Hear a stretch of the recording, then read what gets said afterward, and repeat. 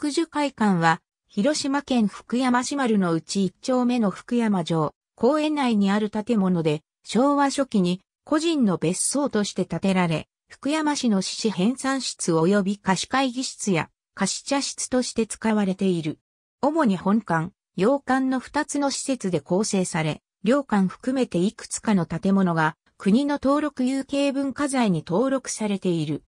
福寿会館は館福寿会館洋館福寿会館は、福山城の旧二の丸下段北側に位置し、半世時代には幕府から預かった兵糧米を収蔵する上米蔵があった場所に建てられている。明治時代にはこの周囲は民間に払い下がられ、離縁となっていたが、1930年代、この東半分の場所に海産物商で削り節の考案者と言われ、鰹節王と呼ばれた安倍和助により今日の福寿会館となる大規模な別荘が建設された。敷地面積は約7400平方メートルあり平屋では式の本館とこれに付随する木造を2階建ての洋館、地線回遊式庭園などで構成されている。また、東側には福山城二の丸の石垣を崩して新たに専用の道路が作られた。なお、この道路により二の丸東側と地続きであった敷地は分断されることになった。福山大空襲では隣接する福山城天守が消失する中で理災を免れ、その後、所有権は個人に移ったが、福山通運創業者、渋谷昇が買い取り、1953年に福山市に寄贈された。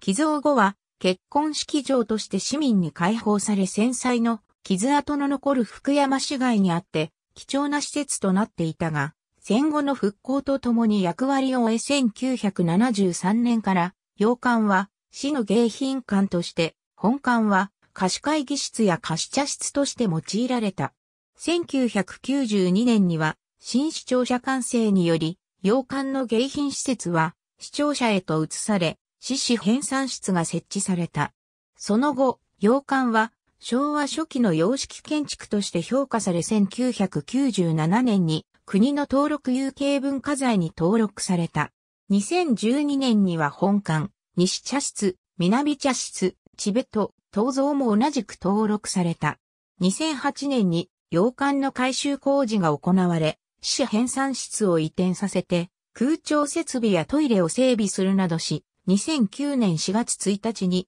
一般開放された。利用者は周囲に福山城お湯殿や月見櫓といった類似の施設が多くあることなどから年間5000人程度と低迷していたが、市は洋館の開放により新たな観光スポットとして利用者の拡大を期待している。本館洋館福寿会館洋館1935年から1937年頃に建てられた建築面積138平方メートル木造一部2階建ての屋根は鋭角の切り妻で瓦吹き、外壁はモルタルで柱や窓にはイタリアルネサンス風の装飾が施されている。中国新聞地域ニュース、観光拠点の開館、魅力アップ2008年4月18日、中国新聞地域ニュース、福山、福寿会館を改修、4月から開放2009年3月27日。ありがとうございます。